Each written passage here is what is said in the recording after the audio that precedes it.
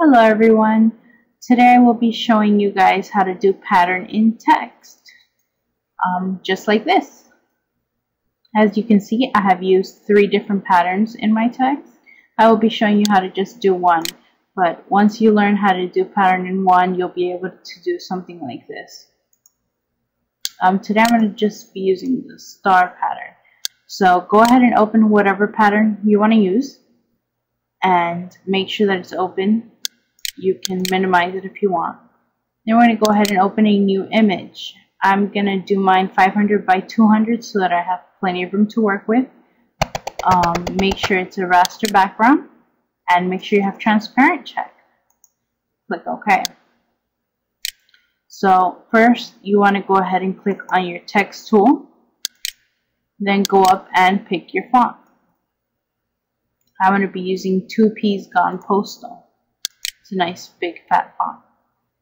Then um, choose your size, your bold, italic, underline, all of that good stuff. Your stroke, um, how big you want the border to be, and make sure it's create as vector. Okay, so the next thing you want to do is pick your stroke or your foreground color. Um, I'm going to be using that light gray. Then you want to go ahead and click on the background color. And then you want to go up here and click on pattern. So when you click here to look for your pattern, as you see, anything that you have open is going to show up here. I have all of these patterns open right now in my PSP, as well as my text and all that. So I'm going to be using the star pattern. So go ahead and click on your pattern, which should be the first one it should appear there on the first one. And click OK. So now go ahead and click inside your image and type out your text. And click OK, and there you go. You can go ahead and size it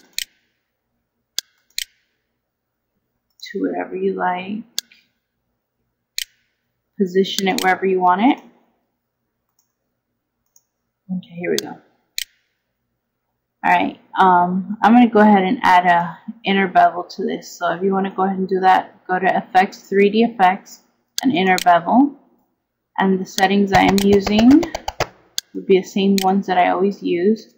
Bevel number 2, width 10, smoothness 25, depth 5, ambience negative 27, shininess 35, color white, angle 135, intensity 35, and elevation 60. And now I'm going to add a drop shadow. So that looks pretty good. Let's see the pink one in that. Let's just do plain black. Okay. I did a 1-1 um, 80 opacity and 3.00 blur for this. And let's see. I'll go ahead and add a glass effect. No. How about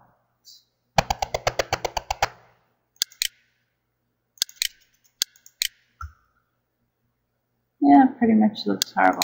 Okay, so I'm just gonna leave it like that with my inner bevel and a and a shadow. But as you can see, you can go ahead and add more effects to it and do whatever you like. And that was pretty simple, so that's it. Barely five minutes. Um, in the case that you want to do something like I did, you just would, let me see,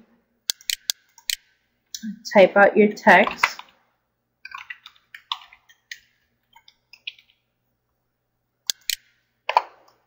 Okay.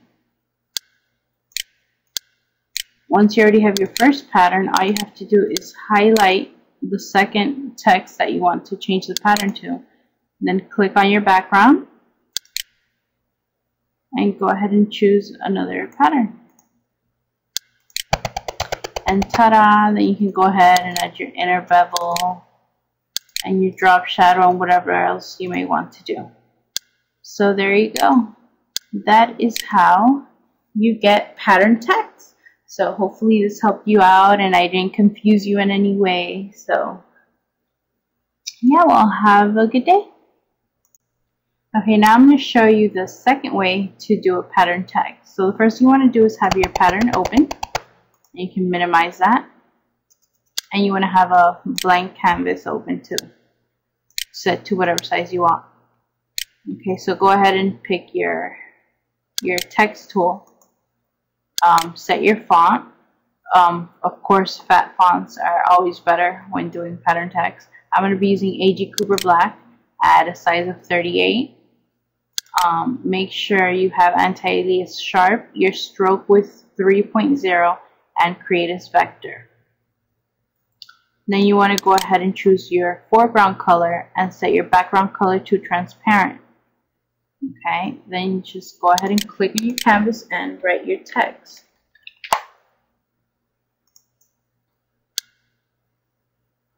Okay, once you have your text written out, as you can see it has a border, go ahead and pick your magic wand tool.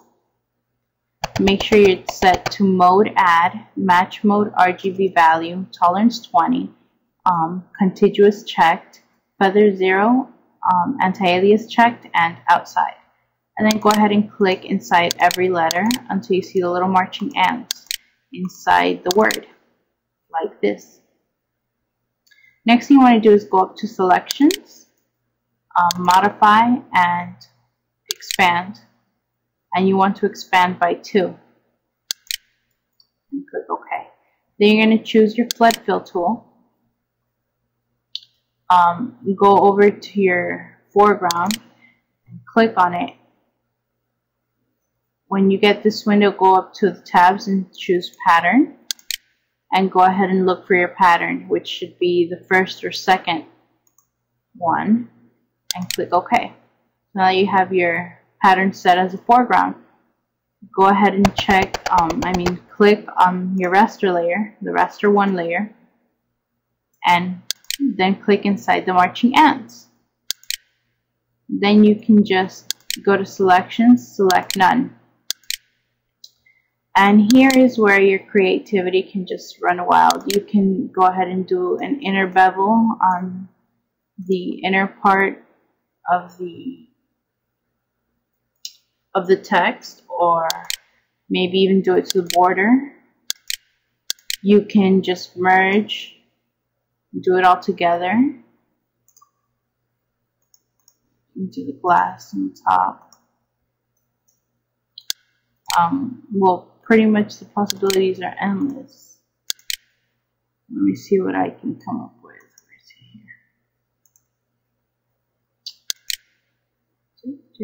Oh, my eye candy is not working.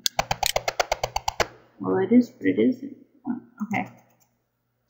Going to put some glass and then maybe chrome out the outside because it is gray. See. That looks pretty cool, huh? and well, that's pretty much it. You can just let your imagination run wild here and make some really nice. Whoops. So you don't want to do that. Hold on. Alright, so then once you're done doing um, whatever you want to do to each layer, you can just right click, merge, and merge all flatten, not flatten, I'm sorry. Um, merge all visible, merge visible. And then to get rid of the excess space, just click Control C and then Control Shift V, which didn't work for me. Hold on, Control C and then Control Shift V. Okay, there you go. And you see how we got rid of all that excess space? And there you go, that's how you do it. So hopefully this helped you out and you can use both ways to make your text all pretty. And well, I'm off to bed because it's like 4 in the morning and I haven't been able to sleep, so I was doing this. Um, so yeah, good night and good morning and good day.